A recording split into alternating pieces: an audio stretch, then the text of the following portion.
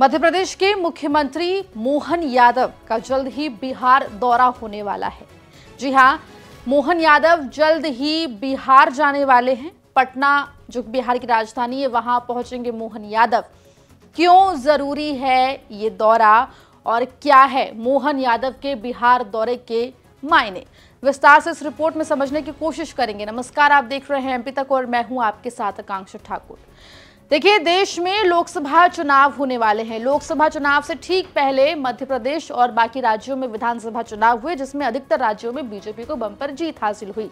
BJP ने इस बार सबको चौंकाया, जब उन नामों को सीएम बनाया, जिसके बारे में किसी ने सोचा भी नहीं था। उसमें से एक है मध्य प्रदेश के मुख्यमंत्री डॉक्टर मोहन यादव।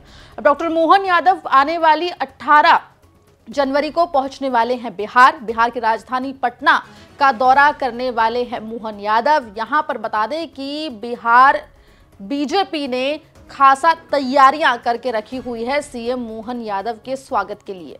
आपको बता दें कि श्री कृष्ण चेतना विचार मंच के कार्यक्रम में शामिल होने के लिए मध्य प्रदेश के सीएम मोहन यादव, बिहार की राजधानी पटना पहुँच रहे हैं।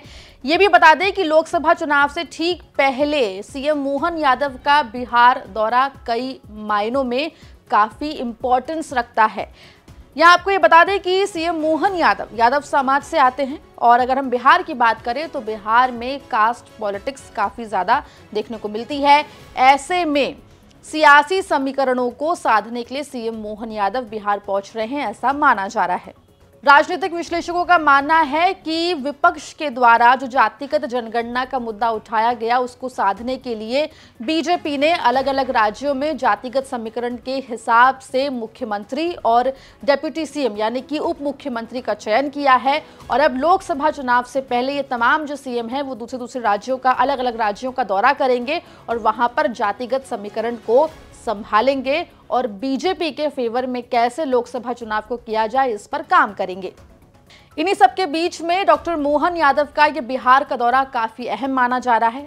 वहीं अगर बिहार के जातिगत समीकरण की बात करें तो बिहार में आरजेडी, जो कि लालू प्रसाद यादव की पॉलिटिकल पार्टी है, यादव वोटर्स के बीच में काफ़ी ज़्यादा लोकप्रिय है। ऐसे में बीजेपी यादव वोटर्स को अपने फेवर में करने के लिए कहीं ना कहीं डॉक्टर मोहन यादव को आगे करती हुई दिखाई दे रही है। या फिर ये भी कह सकते हैं कि डॉक्टर मोहन यादव यादव वोटर्स को साधने के लिए बिहार का रुख करते हुए फ़िलहाल दिखाई दे रहे हैं। हालाँकि देखने वाली बात होगी कि मोहन यादव का ये दौरा बिहार में कितना मददगार बीजेपी के लिए साबित होता है, लेकिन फ़िलहाल बीजेपी इलेक्शन मोड में है, लोकसभा चुनावों की तैयारी कर रही है और इस बीच डॉक्टर मोहन यादव का ये बिहार का दौरा काफ़ी अहम माना जा रहा है। मामले में जो भी अपडेट होगा, वो एमपी तक लगातार अपने दर्शकों को दे रहा है।